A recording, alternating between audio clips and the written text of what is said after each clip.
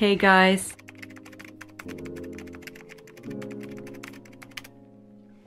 It's been a while since I did a reading vlog. So in honor of Things We Hide from the Light coming out, I was like, you know what?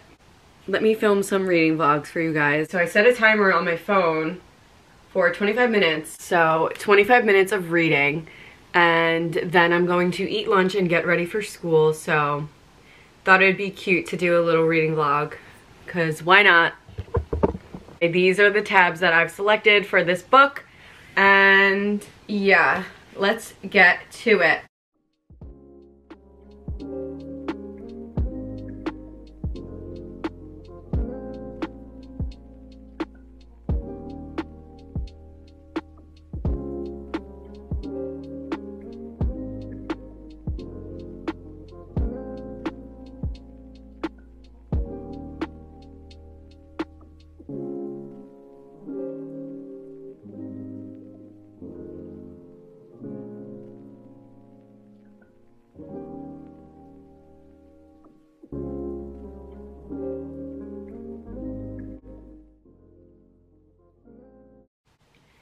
So this is where I currently am, literally on chapter three.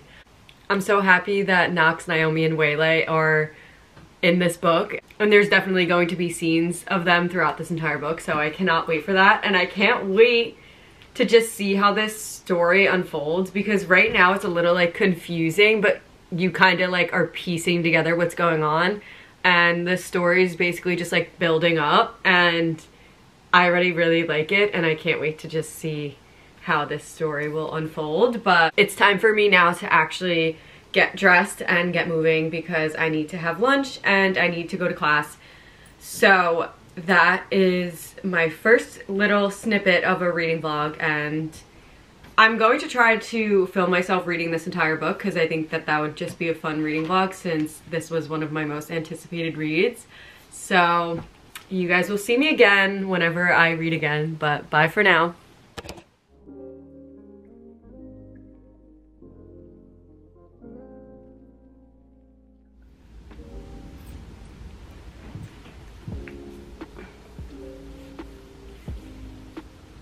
Hey guys, so I know I said I was going to do a reading vlog for Things We Hide from the Light, but I have been reading this throughout the past like couple days and I haven't filmed myself.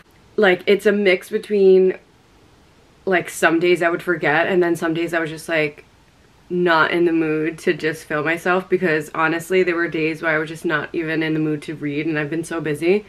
So I've kind of just been like reading whenever I got the chance. So I just didn't have the time to set up a whole reading vlog. So, oh my god, this is my coffee. Look how good it looks. So anyway, update on things we hide from the light. I'm on page 289, chapter 26. And this is how much I've tabbed so far. And an update on my thoughts would be, so I'm absolutely loving it, but like let me just say that it's definitely a slow burn because I haven't gotten any action yet. But there's so much going on so it doesn't matter. Like there's so much action and just like story build up and character build. Like we see all the characters from things we never got over and that makes my heart so happy because I love that book. That's one of my favorite books. And seeing all the characters in this book is literally like a reunion. Like I'm so happy that they're in this book so much and we see so much of Lucian in this book and let me just say that my love for him grows literally every page. Like I'm genuinely obsessed with him and I'm so excited that Lucy's making a book for Lucian and Sloane because they've been my favorite since Things We Never Got Over. So let's read a little bit.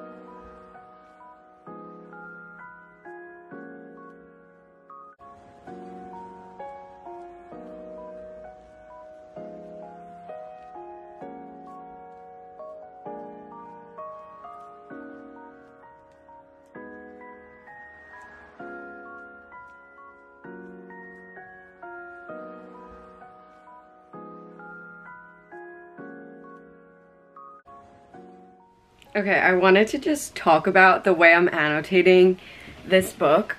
Also, wait, I was reading yesterday and I found a really cute quote about, hold on. Why do I feel like that's really interesting. I was reading yesterday and I found a really, really cute quote. And normally when I'm reading a book, I don't like underline or highlight as I'm reading. I'll like go back and do it.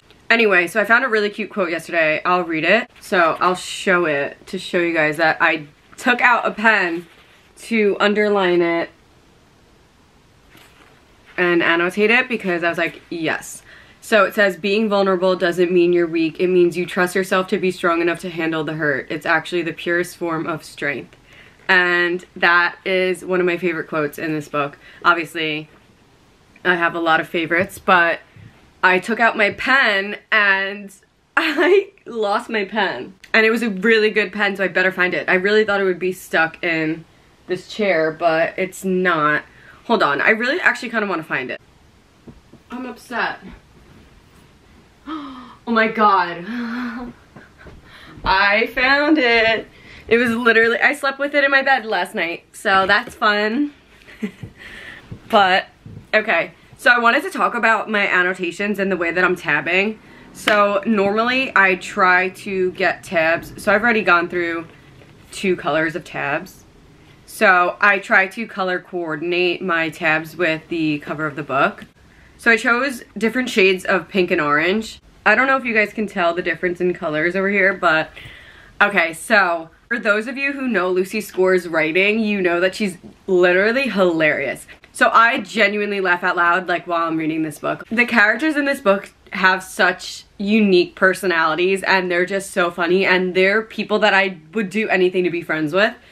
And they just have like the funniest dialogue literally like ever. It's so funny. I think I was using like a pink for like funny moments. And honestly, it kind of gets a little messy because then when I run out of like that pink shade, then I'm like, oh god, like I need to use the other pink shade for the funny moments. But okay. You guys are probably like, dude, like you're obviously not doing it in an organized way. But in my brain, like I know what color means. I know what the colors mean. Okay, so steamy moments that haven't even freaking happened yet, but the tension building up to the steamy moments has its own color, and like those are the moments that I'm like kicking my feet and swooning. And then I have funny moments, and then I have literally a tab for just Lucian.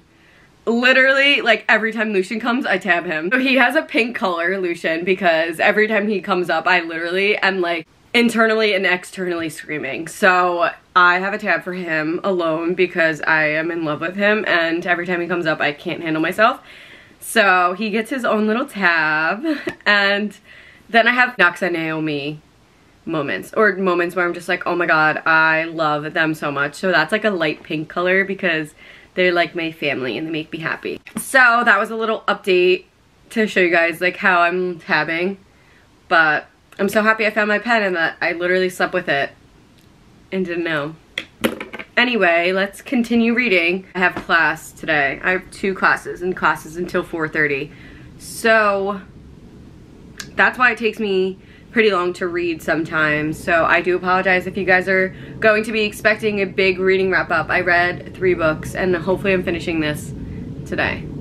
So I'm just gonna continue reading now and shut up because it's getting very good.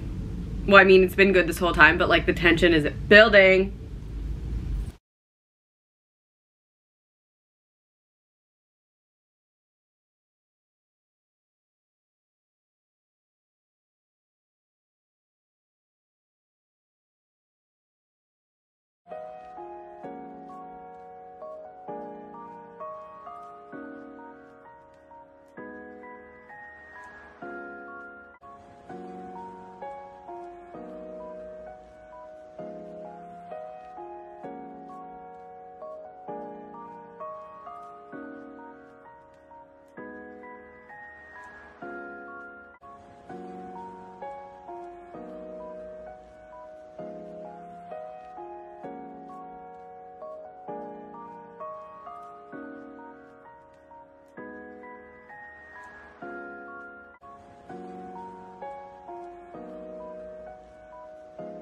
Hey guys, so I have some film of me reading Things We Hide from the Light and I said I was going to make a reading vlog and I really honestly have not filmed majority of the time of me reading it. Like I only remember recording myself like twice and obviously I picked the book up way more times than just two times. So I am sorry. This reading vlog is not going to be the best reading vlog just because I did not get to film myself reading as much as I wanted to. And let me just say that I am sort of in a book slump. It's March 6th and I literally am still reading this book and I don't know if it's like school or I'm just in a book slump. Like I think it's just a mix of both. And to be honest, it's taking me a really long time to read this book and it stinks because I love the universe of Knockemout so much. Things We Never Got Over is genuinely one of my favorite books ever and this this is how I feel today. Like I am slumped, but I love the characters and the universe so much. So I'm just sad that I'm dragging this book along, but I've annotated majority of it. This is where it looks like I am, but that's because I've switched to reading on the Kindle now because I read faster on the Kindle and I really want to finish this book. So this is what we're going to try to do today. It is it is currently 4:38. Hello, can it load? There we go. 4:38. I just got back from class. I filmed a video earlier today and yeah, so I'm filming again, but I'm doing a reading vlog. So I'm just gonna sit here and read and you guys are just gonna watch. But I need to grab my glasses. I'm so tired and I have to get myself to the gym at some point today. So I'm most likely going to just read for 20 or so minutes and then get ready and go to the gym. And that is my plan for today. But I figured I wanted to read a little bit, so why not film that so you guys can see and I already promised a reading vlog. Hold on, mom is calling. Okay, a little intermission because my mom called me. She got a flat tire, of course, because what is life if it's not chaotic? But anyway, I'm so tired. I don't know why. Oh, let's read this book. being in a slump is a freaking worst thing. I hate being in a slump. And I'm so embarrassed because I literally read two books last February. Last February. I read two books last month. And it's March 6th and I need to start reading more. So let's go. No more BS. the freaking chapter name is Pantsless and Ass Up. Like, okay. Period. I'm gonna read now. Love you guys.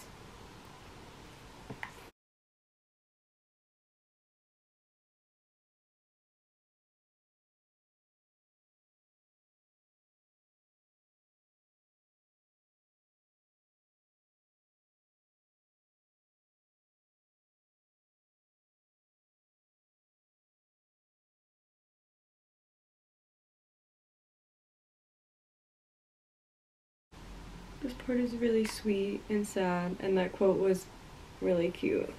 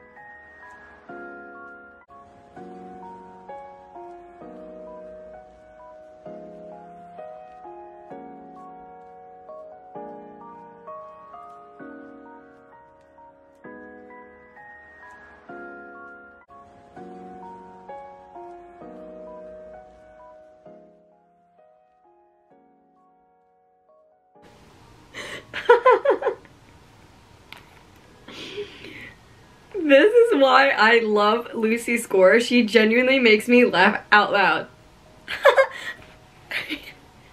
oh my god. Her writing is so funny.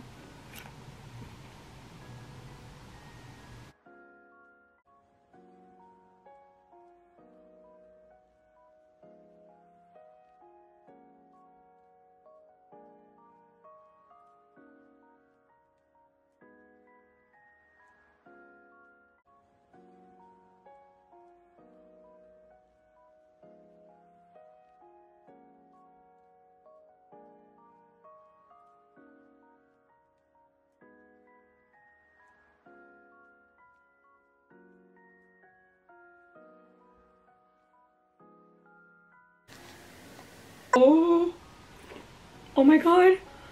I literally have the chills. Wow. Lucy Score, you are incredible. Oh my god. I still have the chills. They're going all down my legs right now. Oh my god. What?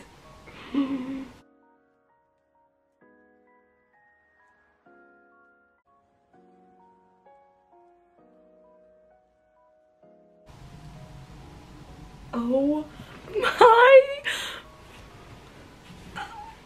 What the heck? This got insane. Like literally insane. Hold on. Let's see what percentage I'm at. I'm at 90% right now. And wow. Okay.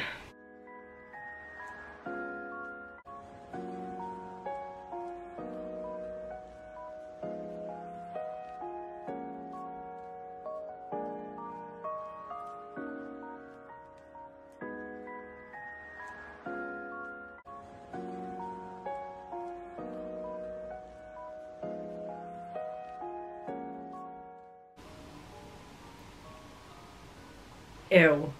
I knew it. Ew.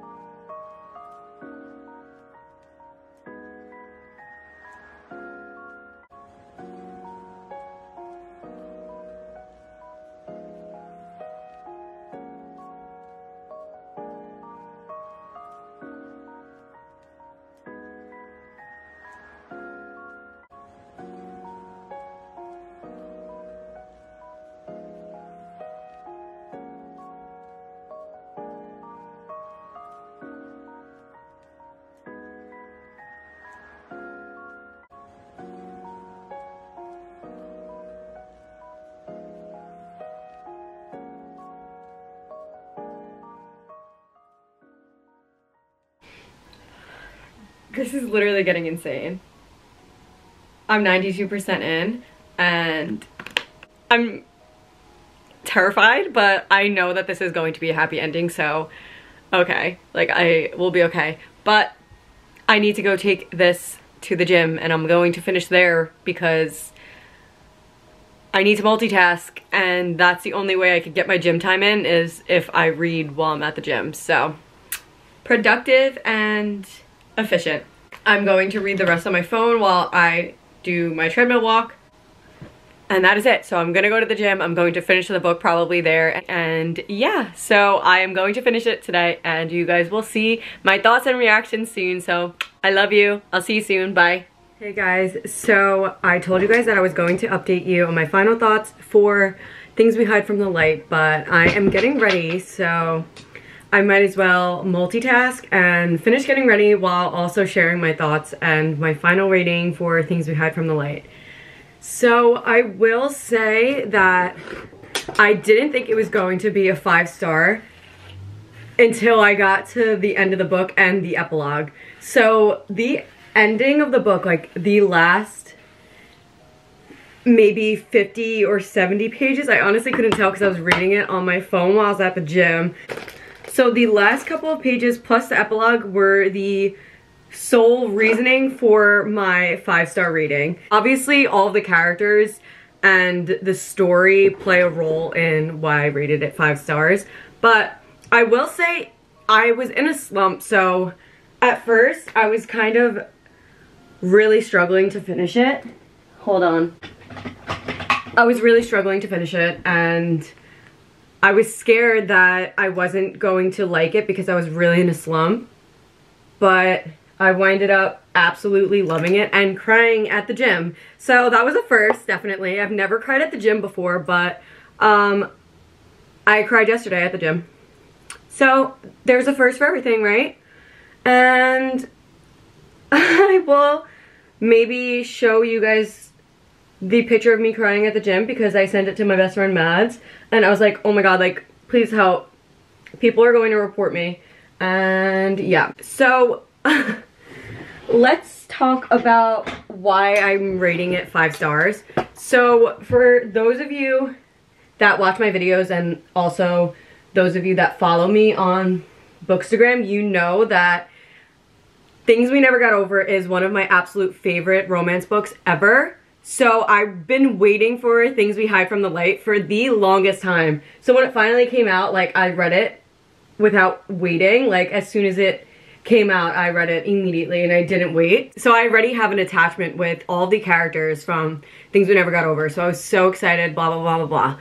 You see all of the characters again. So all the characters in Things We Never Got Over are seen in Things We Hide from the Light and they're basically in the entire book, which I was so excited about because sometimes when there's interconnected standalones and they're like a series, sometimes you don't get to see the characters as much, and in this book, Things We Hide From the Light, you see them so much, and that made me so happy, so that's also a reason why it was five stars. But I will say that if I didn't read Things We Never Got Over first and started with Things We Hide From the Light, I probably wouldn't have rated it a five stars. Since I love Things We Never Got Over and just love the character so much, this is the reason why I rated it a five star read. And yeah, so honestly, the ending was absolutely perfect.